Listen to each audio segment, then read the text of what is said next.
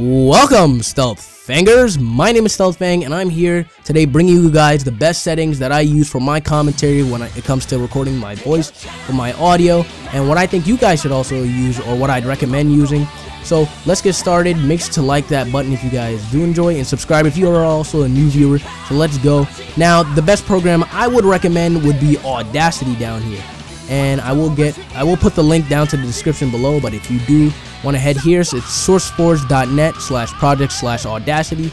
And I'd recommend this setting this um, program because it seems to be the best program that I've been using for the last year and a half and it's really working out well for me. So now let's get started. Right after you finish installing it make sure to launch it and when you've launched it you're gonna come up over here.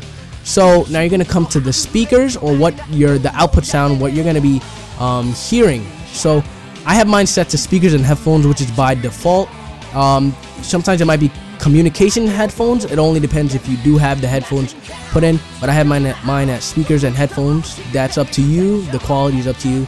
Now the microphone, I have mine, my Blue Yetis um, put in right now.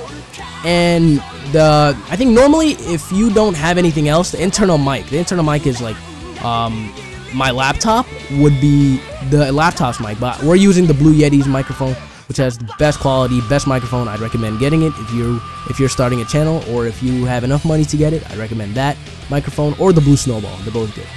Anyways, now you want to move on to two stereo input channel. This is best if you want to hear it out of both both ears. And now let's go down to the project rate. Now project rate also depends on the microphone, but also depends on the quality you want to give out. 44100 is CD quality, while 48000 is DVD quality, and 48,000 seems to work best for me. Now, depending on some recording softwares, um, and when you're recording your audio, they might bump it up to 192,000. It only depends. I'm using Mirillis Action to record this right now, so if I'm recording the audio on that, then it would bump it up to 192,000. But I would recommend 44,100 or 48,000 only because they seem to be the best. So now let's go ahead and start recording. When you're recording, make sure to start at 5 seconds, only because you want to pick up the background noise for noise removal, which I will show in a second. So let's go. Three, two, one.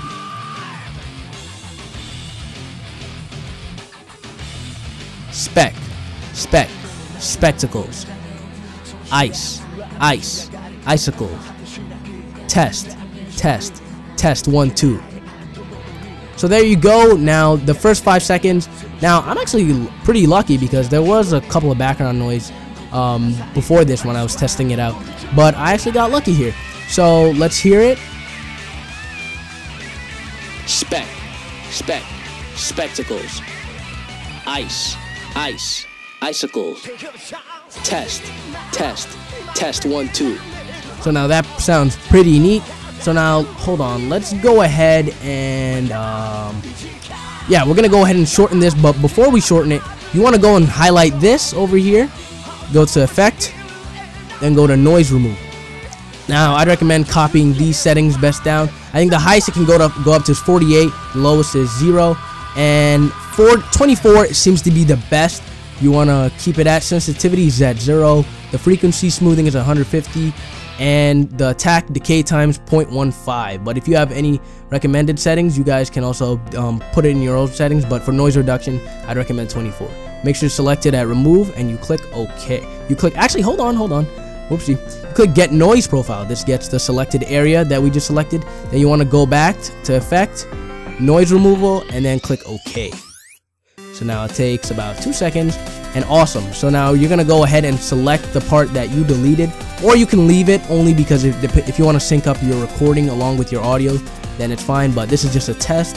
So we're to go ahead and we're to delete that.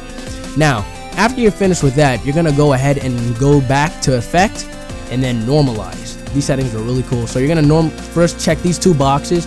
Um, depending on if you've updated Audacity, your it might look different, but I'm pretty sure if you have um, put it to the latest version, you're gonna have these two um, checks over here. If they're not checked, make sure to check these and make sure it's negative one decibel and click OK. So good. So did that. Now the next what thing you're gonna do is go to compressor, effect, go back to effect, then compressor, then copy these settings down. I recommend for this part over here, between negative 14 decibels and negative 18 decibels, I put it right in the middle and put negative 16 decibels. And I'd recommend copying these um, settings over here, down here, and then you click OK. Nice.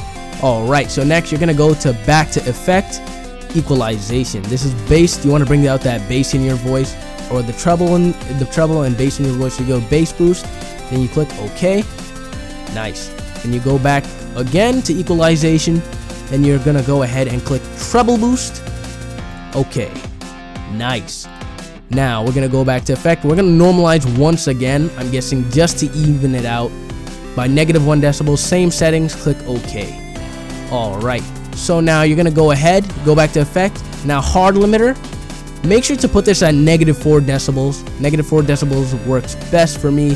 Then leave everything as the same. Now you click OK. Nice. Then you're gonna go back to effect, then normalize. They click OK.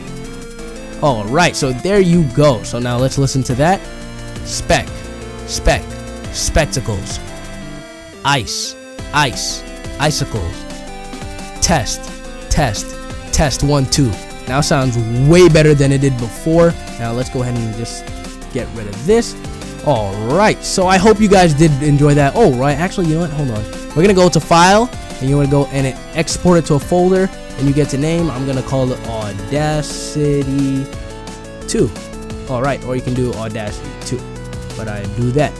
Alright, so you're to go ahead and save it as a WAV file. WAV files are way better than MP3 files, only because I think quality, quality is what matters, so let's go. Now, you want to go i mean you can these you can fill out on your own it's up to you i don't normally fill those out uh, i don't make music or you know record anything.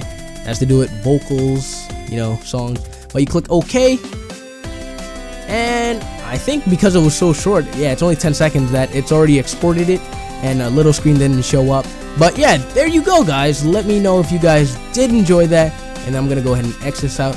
If you guys did enjoy that, let me know. And if you have any recommended second set, um, some settings, let me know, and that'd be really cool. So make sure to hit that like button if you guys did enjoy this tutorial video on my best settings. And also make sure to subscribe if you're a new viewer while you're at it. So until next time, stealth out.